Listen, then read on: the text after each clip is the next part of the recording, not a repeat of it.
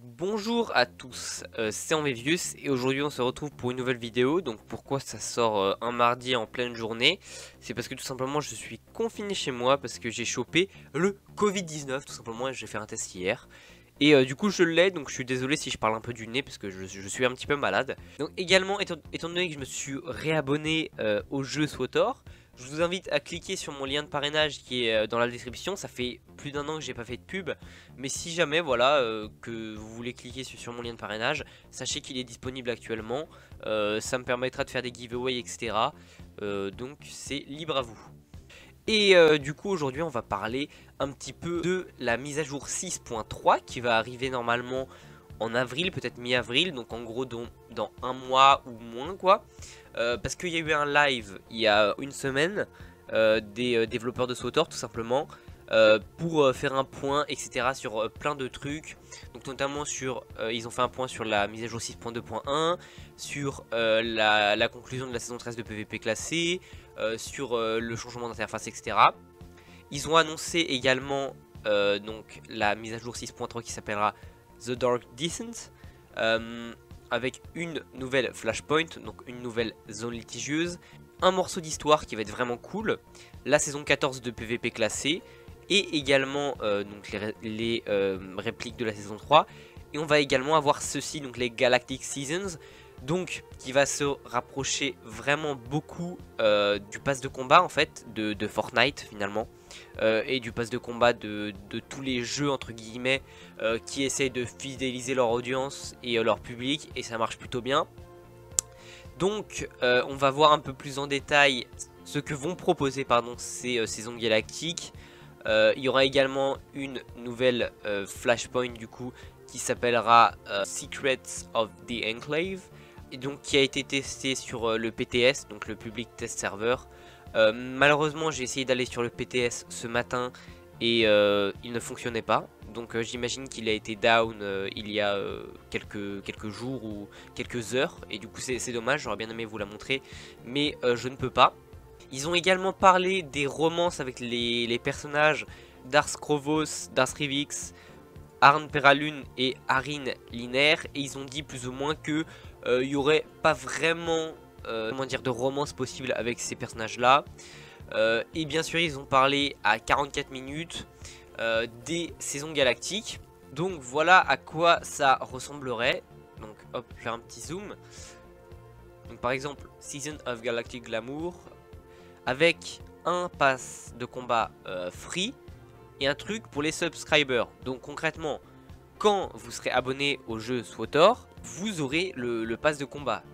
Donc, euh, il y aura des daily challenges, donc des challenges à faire tous les jours, et des weekly challenges. Donc quand je vous dis que ça ressemble vraiment à Fortnite, enfin il y a vraiment euh, le tiers gratuit, le tiers pour les abonnés euh, en dessous, avec vraiment plusieurs trucs. Donc il y aura des, missions à faire, etc. pour, pour débloquer les, les, différents levels.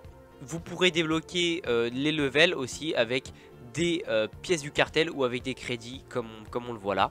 Donc ça c'est un work in progress, c'est à dire que ça va pas du tout être l'interface finale, mais en gros ça devrait être un système de ce style là.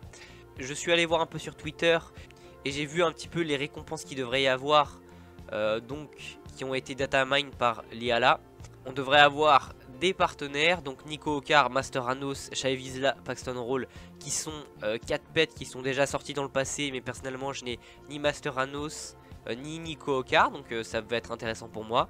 Ensuite on va avoir des pets assez dégueulasses, il y en a un qui va s'appeler Altur Zok Adon, voilà, et deux custom, donc voilà. On va avoir 4 nouvelles armures, 2 qui sont plutôt stylées, euh, je vous afficherai tout à l'heure en grand euh, les, armures euh, datamine entre guillemets. Donc une espèce d'armure de Marauder Sith ici à droite et une espèce d'armure plus type Mandalorien. je pense qu'ils essayent pas mal de, surfer sur la vague du coup de la saison 2 de Mandalorien en, proposant des armures de ce style. et deux armures un peu biomécaniques, robots un peu comme, comme vous voyez, et un truc plus de technicien sur, sur la quatrième image quoi. On devrait avoir des euh, toys et des émotes, donc des jouets avec euh, aussi quelques montures. Euh, les montures ont pas l'air si terribles, les pets on s'en fout un peu. Les émotes ça peut être vraiment intéressant. Et les montures, bon, vous voyez, c'est pas ultra stylé, c'est pas ce qui va m'intéresser le plus. au niveau des armes par contre, on est assez gâté. voilà, des pistolets, des fusils, des sabres laser bien sûr, euh, même ce bâton là qui peut être assez stylé pour euh, par exemple un Assassin's Sith ou un nombre Jedi. Euh, et même les, les, poignées de sabre laser qui vont être assez sympas je trouve. Donc voilà ce qu'on devrait, de quoi on devrait disposer dans, le, dans, ce fameux pass de, dans ce fameux de combat. Donc voilà, donc c'est, je vous mets la source en description, c'est le Twitter de Skyhammer, de Skyhammer. Donc personnellement ça me hype pas mal de savoir que il y aura forcément des récompenses encore plus intéressantes pour, euh, pour les abonnés, tout simplement. Donc euh, c'est cool, ça donne envie de rester abonné à Swotor quoi. Ah, également, je vous montre un petit peu le Twitter de Ileva Gaming, qui est une youtubeuse anglaise qui fait des vidéos un petit peu sur, sur Swotor. Donc voilà en jeu sur PTS le, truc qu'elle avait. Elle a eu comme récompense une monture qui est le Shadow Light, une décoration, donc ça c'est pour le tiers pour le pour les euh, abonnés. Et ensuite, par exemple, pour les non-abonnés, du coup, on a ça. Donc, on a des, des Galactic Seasons Token. Donc, normalement, il devrait y avoir un marchand euh, de vendeurs de saison galactique. Donc, euh, c'est plutôt intéressant d'avoir des, tokens, etc. Donc, voilà un petit peu tout ça pour le, pour le Battle Pass. Je vous montre les armures en plus grand qui ont été data mine. voilà, c'est assez correct, je trouve. Donc, le Hunter's Glaive peut être euh, assez sympa comme, euh, comme je vous l'ai présenté tout à l'heure. Et euh, bien sûr la Dark Marauders Armor qu'on a vu également dans le, dans le, Battle Pass. Le torse est franchement très sympa. Du coup voilà c'est plutôt cool, même les bots sont sympas. donc c'est à peu près tout pour, pour Twitter. Ils ont annoncé en gros qu'il allait probablement avoir un event double XP.